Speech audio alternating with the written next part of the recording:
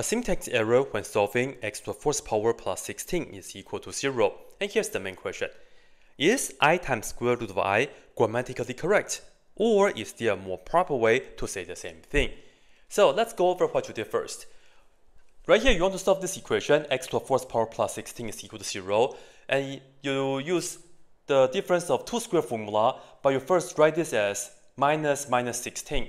And then you also use the fact that i squared gives us negative 1. So you put this in the form of x squared squared minus 4i squared. And then you can use the difference of two squares. You get this times that is equal to 0. Considering the first factor being equal to 0, you once again factored it as the difference of two squares. But right here, this is where we see the square root of i. Because 2 squared gives us 4. Square root of i square, square, square root cancel, that's how we get the i. And then you factored it, and you end up with x is equal to plus or minus 2 square root of i. For this case here, you put plus as a minus minus, and then you put this as x squared minus, right here this is a little bit trickier. For this negative, well, we know that i squared gives us this negative, and then 2 squared gives us 4. And then for the i, it's a square root of i. Square gives us i. And then you factored it, you get this. You solved it, you get x is equal to plus or minus 2i square root of i. So now, the main question is that, are we okay to just leave the answer with the square root of i? Or do we have to keep going? I will tell you, it depends. Some people are okay when you write square root of i, but some people are not okay. I would say most of the time you would need to write a complex number in the form of a plus bi form. That's like the standard way to do it. So if you want to see how to write square root of i is equal to a plus bi form, I do have a video on just this by doing some algebra. You can check that out. The link will be in the description. However, though, in this video, I would like to show you guys another way to solve this equation so that you don't really have to see square root of i throughout the process. You can end up with the solutions in the standard form right away. So let me show you how to do that. So the key right here is still to factor this. And let me write down the formulas that we need. Right here, we know that if we have a squared plus 2ab plus b squared, we can factor this and we will get a perfect square a plus b squared. And then we will also need the difference of two square formula, which is a squared minus b squared, which is going to be a minus b times a plus b. Now let's think about it. This right here, it's kind of like my first term. And my goal is to just write it as something squared. And to do so, we can put it as x squared and then squared. Now for the 16, it's like this part. It's just a number square, right?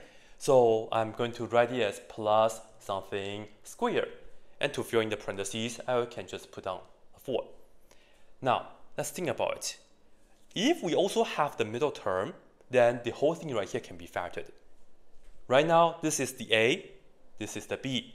So what if we just go ahead and add 2 times a and b, which a is the x squared and b is the 4. Now, this right here, we can factor it with the first formula. Now, you also have to make sure that go ahead and subtract this because otherwise you could change the whole question. Subtracting 2 times 4, which is 8, and then x squared. Now, this is the same as the original, and this is still equal to 0. Now have a look. For the first three terms, we can factor it, and we will just get this plus that squared, x plus 4, x squared plus 4 squared. And then here we have the minus, but hey, minus square square, minus square, and I would have the second term square, so that we can use the difference of two square formula to factor that. So, for this right here, what square will give us 8? Well, I'm just going to put down square root of 8. And then for the x squared, I just need the x. the x is on the outside of the square root. Then we can just go ahead and factor it as the difference of two squares, and we will just get this, which is x squared plus 4 minus that, square root of 8 times x, and then times this plus that. And that is equal to 0. Very nice, huh? Then we put this equal to 0, solve that, likewise do the same thing for this. Putting this equal to 0, I will write x squared minus square root of 8x and then plus 4 is equal to 0 because that will give us the equation in the standard form for the quadratic.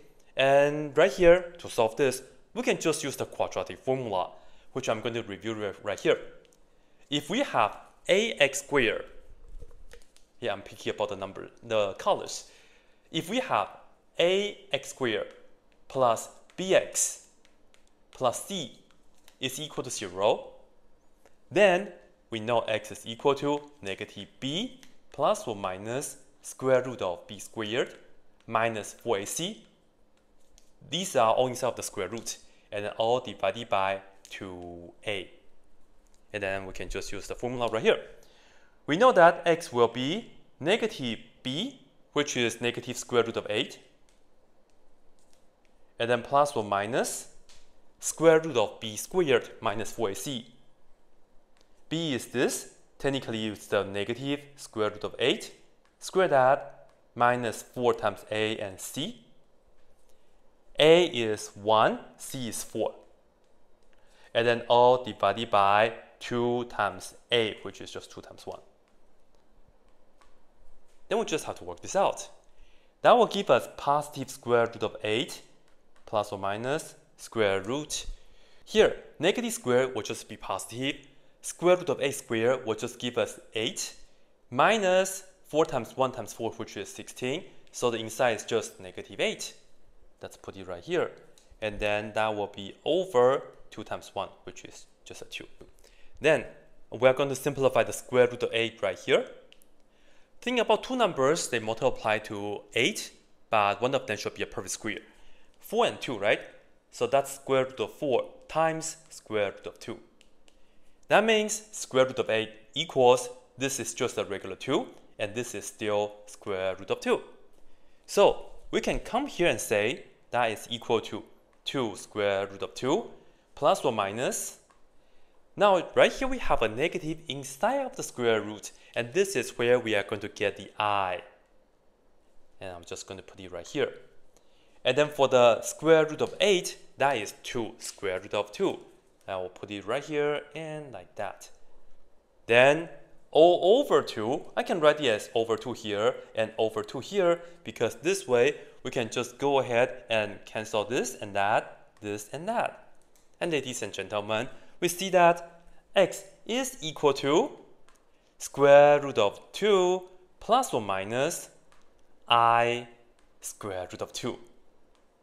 And these are the first two answers from this part of the equation. And you see we didn't have to deal with square root of i at all. Now, of course, we still have the second part. You still have to put this equal to 0 and then just solve it. But notice that this is just going to be a positive square root of 8 as opposed to the negative square root of 8. So it will be a negative positive square root of 8. So the whole thing will be negative. So the only difference is just we will have a negative in front. So I will tell you, for this part of the equation, we just get x is equal to, here we have the negative, and then the rest is going to be the same. And these are the two more solutions. Altogether, we have a total of four solutions for that equation. Very cool, huh? And I totally agree that it's like, huh, how do we know to add this and subtract that so we can make this factorable? Well, I will tell you, this is a situation that I think that you should see at least one time so that you can keep in mind so that later on when you encounter something similar, you can try this kind of things again. Hopefully this really helps. That's it.